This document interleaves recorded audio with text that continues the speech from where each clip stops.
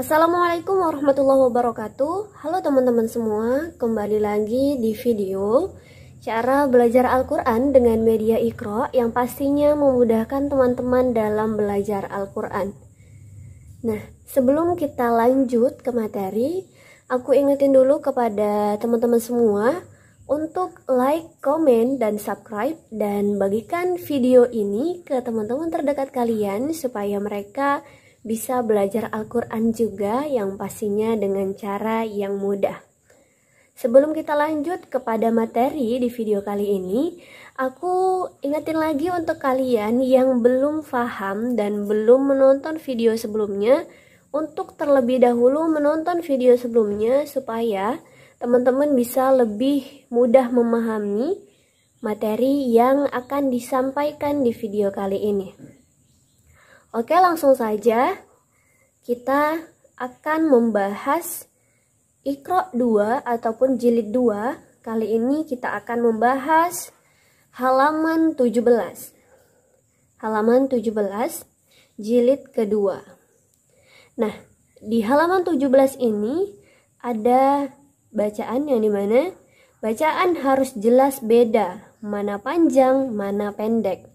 Nah, di sini di halaman 17 ini sangat menekankan bacaan mana panjang dan mana pendek dan harus benar-benar benar-benar jelas yang pastinya teman-teman harus memahami mana huruf yang panjang dan huruf yang pendek dan cara membacanya juga harus jelas. Nah, sebelum kita masuk ke materi yang ada di halaman 17, kita mengingat terlebih dahulu di halaman sebelumnya ada penambahan huruf alif yang merupakan bentuk ataupun tanda bacaan panjang. Nah, itu menjadi pembahasan kita kali ini juga, tapi di pembahasan kali ini sudah mulai menggunakan tiga huruf. Jadi teman-teman harus benar-benar lihai dalam membaca mana huruf yang panjang dan huruf yang pendek. Nah, kembali lagi aku ingetin untuk huruf-huruf yang bergaris ataupun ada alifnya seperti ini. Di sini seperti huruf sa. Di sini contohnya seperti huruf ba. Di sini ada dua huruf ba dengan huruf ta. Jadi itu harus dipanjangkan. Jadi sebelum ada huruf alif, ada huruf alif sebelumnya itu bergaris atas. Contohnya huruf sa ini. Huruf sa ini bergaris atas dan sesudah itu ada huruf alif, maka cara membacanya adalah panjang dua harokat. Panjang dua harokat. Saya ulangi, apabila ada huruf yang bergaris atas dan di depannya ada alif, maka cara membacanya adalah dipanjangkan dua harokat. Yuk, sekarang kita mari belajar bersama-sama dan latihan huruf panjang dan pendek. Sabata, sabata, sabata. Nah, di sini ada huruf yang panjang ada dua. Huruf ba dengan huruf ta. Jadi, teman-teman harus bisa jeli membaca mana huruf yang panjang dan mana huruf yang pendek. Huruf yang pendek cukup dengan satu ketukan saja dan huruf yang panjang harus dengan dua ketukan karena panjangnya dua harokat. Contohnya sabata. Nah, di sini huruf yang panjang dan pendek itu di acak ya teman-teman. Tidak selamanya di depan ataupun tidak selamanya di belakang bisa juga di tengah. Contohnya seperti ini tadi. Jadi harus benar-benar jeli. Sabata. Zabada. Zabada zabada. Zabada. Tawaba. Tawaba. Tawaba. Tawaba. Jahada. Fa'ala. Saqala kataba.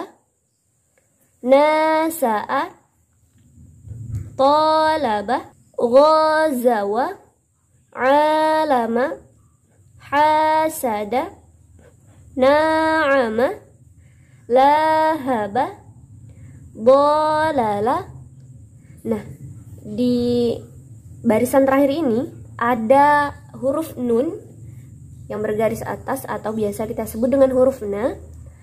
Yang dimana huruf na ini ada panjang pendeknya. Panjang pendek di sini diacak teman-teman. Jadi teman-teman harus hati-hati yang mana yang panjang dan yang pendek harus benar-benar diperhatikan. Nah, contohnya di kata yang ini. Nah, nah, nah. Di sini huruf yang bergaris atau ada alifnya itu di awal dan di akhir. Jadi cara membacanya di awal dan di akhirlah yang kita panjangkan. Nah, nah, nah. Terus yang di sini huruf yang bergaris atau huruf yang panjang hanya ada di tengah. Maka nun yang kita panjangkan, huruf na yang kita panjangkan adalah huruf na yang kedua. Nah, nah, nah. Selanjutnya, di sini ada huruf na, huruf na-nya ada empat. Nah, kita lihat di sini huruf na yang panjang hanya ada di huruf na yang ketiga. Maka cara membacanya adalah memanjangkan huruf na yang ketiga. Na na na na. Nah, di sini hanya ada huruf na yang hurufnya huruf na-nya hanya ada dua. Yang panjang dengan yang pendek. Yang pendek jangan kita panjangkan, yang panjang jangan kita pendekkan. Nah, yang inilah yang panjang ada alifnya. Cara membacanya na na Nah, di sini juga sama seperti tadi. Cara membacanya yang bergaris panjang atau ada tanda panjangnya kita kita baca panjang. Nah, nah, nah. Nah, seperti itu teman-teman. Jadi, kita harus bisa lebih lihai dan lebih paham materi-materi sebelumnya supaya kita bisa mengimplementasikannya di halaman-halaman berikutnya. Mungkin sampai situ dulu pembahasan kita di halaman ke-17 jilid kedua tentang huruf panjang dan pendek. Aku harap teman-teman bisa terus semangat belajar dan mudah memahaminya. Sampai jumpa di video selanjutnya. Assalamualaikum warahmatullahi wabarakatuh.